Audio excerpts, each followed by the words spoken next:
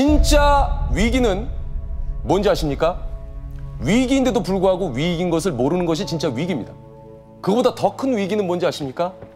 위기인 걸 알면서도 아무것도 하지 않는 것이 바로 더 큰 위기입니다.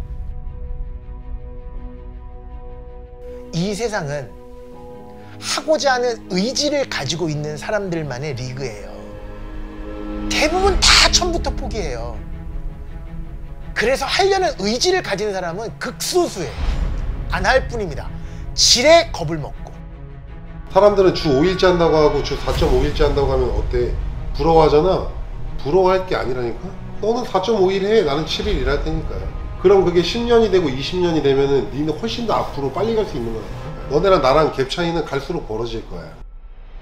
같은 거 매일 하면 지겨워 안 지겨워 그 지겨운 거 이겨내는 사람이 성공해 짧게 보면 이거 하고 안 하고 크게 차이 안 나 길게 보면 차이 나 그래서 실력이 뛰어난 게 중요한 게 아니라 성실하게 살아가는 그 마음이 중요한 거야 자세가 모든 사람에게 평등한 시간을 줬단 말이야. 그 24시간을 어떻게 쓰냐에 따라 달라지는 거지. 그 시간에 뭘 하냐에 따라서 네 인생이 달라질 거야.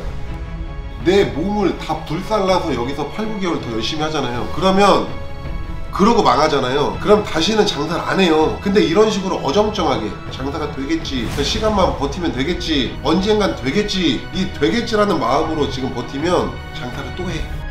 네 스스로 손을 가슴에 얹고 생각해봐. 내가 정말 남들보다 부지런하게 열심히 잘 살았는지에 대해서 오늘 아무것도 하지 않으면서 내일이 바뀌기를 바라지 마. 변화를 주라고. 근데 왜 안 해? 안 했잖아. 정말 안 들어올 것 같아서, 같아서, 같아서, 같아서 그만 얘기하라고. 해봤어?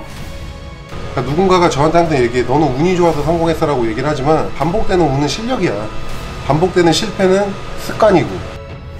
네가 그걸 해가지고 실패를 할 수도 있어. 될지 안 될지는 아무도 몰라. 네가 다 해봐야 돼. 다 해보고 실패를 통해서 얻는 거 깨닫는 게 있으면서 실패하는 건 괜찮아. 실패를 한 번도 안 해본 사람이 가장 큰 실패를 한 사람이야. 실패를 했는데 아무것도 얻지 못한 사람이 실패를 한 거지. 하나라도 얻었으면 괜찮은 거야.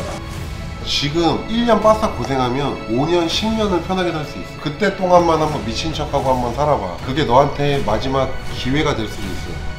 너 이런 명언이 있어. 계란을 다른 사람이 깨면 후라이밖에 안 되지만 본인 스스로 깨고 나오면 새로운 삶을 살 수가 있다고. 너 이거 내가 깨주길 바라니 네가 스스로 깰 거니?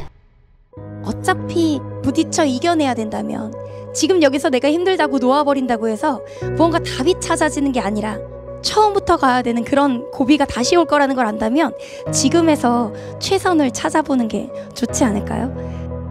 오늘의 일을 내일로 미루지 마. 내일은 하루 더 늙은 너야. 내일은 더 힘들어질 수 있어요. 오늘 주어진 일을 하면서 오늘만 생각하고 사시면 무서운 미래는 오지 않습니다. 기회는 준비된 자만이 잡을 수 있다.